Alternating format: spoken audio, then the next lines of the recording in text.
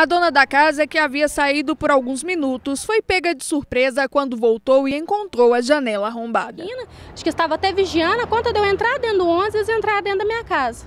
O cachorro ficou dando sinal e tudo, mas quando os vizinhos foram ver, eles pularam pelo muro do fundo, que está puro mato, e saíram na outra rua. Arrombaram a, a grade da janela, né? arrancaram a grade da janela da cozinha e entraram. E levaram a TV. A polícia foi chamada para registrar a ocorrência. Dois suspeitos foram identificados pela vítima e levados para a delegacia. Fomos acionados lá para uma ocorrência de furto no bairro Santos Dumont, onde as testemunhas lá relataram que dois autores arrombaram a janela de uma residência e furtaram uma televisão.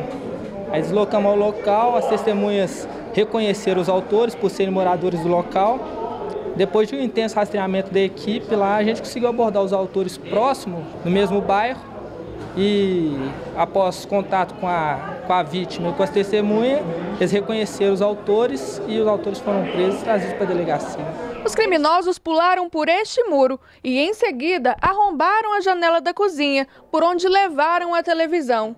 Nem mesmo o cachorro que estava solto inibiu a ação dos ladrões. Hoje, nossa equipe voltou à casa da Cláudia para saber se o caso foi solucionado. Por sorte, a televisão foi encontrada.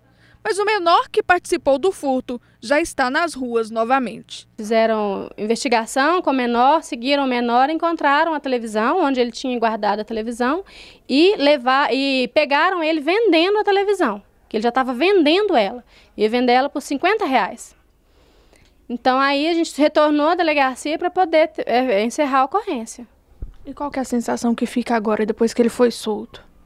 É, fica uma sensação de insegurança, né? Porque agora a gente não pode sair de casa mais, porque como que você vai sair de casa? Sair de casa corre o risco de acontecer isso de novo. Não tem como você sair e deixar a casa sozinho.